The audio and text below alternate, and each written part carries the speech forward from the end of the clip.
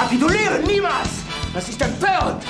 Ich habe Berlin vor Jahren gegen die Roten erobert und werde die Stadt bis zum letzten Atemzug gegen die Roten verteidigen. Die wenigen Stunden, die ich noch als deutscher Reichskanzler zu nehmen habe, werde ich nicht dazu benutzen, meine Unterschrift unter eine Kapitulationsurkunde zu setzen. Wir müssen die Zivilbevölkerung schützen. Erzählst du, was ist uns Вот Артем Сафронов, я исполнительный продюсер проекта World of Tanks Blitz. Ребята только что познакомили вас с основной механикой новой фичи, которая нас ждет в обновлении 3.8. Но это лишь начало. Мы планируем опубликовать большое количество гайдов, статей, информацию про пресеты, видео, чтобы целиком и полностью донести до вас ту мысль, которую мы закладывали в данную фичу. На мой взгляд, это супер круто. Man müsste! Mein Führer, vielleicht handelt es sich ja wirklich um Fernfeuer.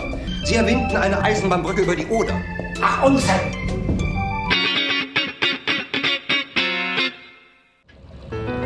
はいどうもどうもウィスウィス。あー。お、どうされましたどうしてだよー。なんで奈良県で弾丸上映してないんだよ。あーはいはい戦闘に戻りましょうね。さて、今回乗ってくのは、イタリアピア8抽戦車。Frog Edo 46. 通称プロゲ46ですね。基本性能をドン。まず、車体走行ですがあんまり頼れないですね。正面は傾斜込みでも100ミリ程度しかなく、このピア体なら普通に貫通されてしまいます。側背面は普通に油断が貫通しますね。注意したいところ3です。ちなみにサイドスカートは6ミリの追加走行として機能しているみたいです。砲塔に関しては硬いところで220ミリ程度、砲順はだいたい200、300ミリ程度あります。でも他は100ミリ程度と結構柔らかいので、りどころがいって弾ける程度だと思ってください。四方には90ミリオートリローダー砲を装備、90ミリですが単発は240と高い部類に入ります。ちなみに前回紹介した時225って答えてた気がする。あれ間違いですすみません。貫通力は通常弾は180と物足りないものの、課金弾は259と高めの数値、状況に合わせて使い分けたいところですね。PPM はメシと換気扇で2321、でも貫通アップでいいんじゃないかな？初動は定番のポジションにて偵察をしたものの、敵は工場側に集中している模様です。こちらが有利なポジションとはいえ、味方が何両か工場側にいるので油断はできないです。機動性は抽選車らしくいい感じですね。陣地転換もかなり楽に行えるんじゃないかな。うんこれちょっとまずくないか？工場側に敵が集中していて、味方はたったの2両、横っ腹撃てるとはいえラッシュされたら終わりですね。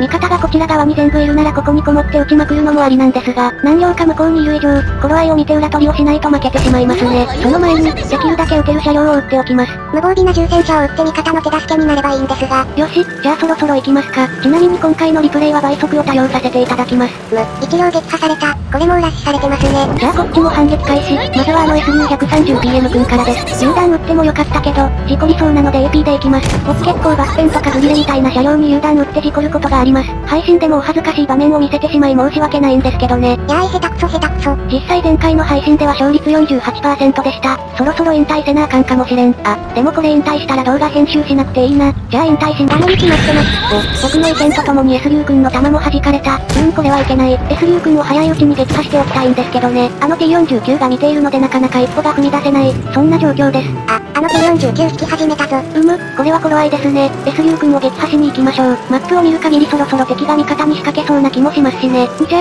よーく狙って狙って、まずは一発目、からの、あ、これは一発もらうかも。なんてね、外してくれて助かったぜ。ナイス撃破ですが、こっちはもう2両も枚数差がついているのでちょっと厳しい展開です。見た感じヘルスも敵の方が多い。ここはトリローダーとしての火力の活かしどころさんですよ。VK100 とキメラ君がいますが、ここはヘルスの少ないキメラ君からです。よーく狙って、貫通は足らないけど、車体なら十分貫通可能だぜ。これ、もう一発撃ちに行けるか？く、さすがに沖エイムされてたら避けれませんね。でも、本来オートローダーならやりきれなかった場面も、オートリローダーなら単発運用もできるからこうやってやりきれる。やっぱりオートリローダーっていろんな応用がつくから、使える人が使うと化ける車両だなっていつも思います。あと、T49 も外してくれてよかった。この状況で560もらうのはかなり痛いからね。ラインメタル君の車線が気になりますが、ここは流れで VK100 も撃破しておきたいです。ちょっとだけ車体を出したら、全部がいい感じに撃てないかな？お、いいねいいね。あともう2発ってところかな。ボン、ボン、ボンをしている時が、一番静を実感する。ちなみにさっきのはナイス上振れだったと思います。ああいうところで救われることもあるので、ボンこと上振れスキルは早急に強化しておきたいかもですね。ここらで一旦戦況を確認しておきたいですね。壊滅的だったものの、なんとか互角くらいには持っていけました。ただしまだまだ辛い状況ですね。あ、ラインメタル君撃破したの偉い。あそこでちゃんとキルを持っていける人は偉いですね。でも味方がもう持ちそうにないねんな。T49 に一発入れますよ。映画を貸してくれている間に、横っ腹を刺しまくりたいですね。あ、あの T49 ワンパン圏内だ。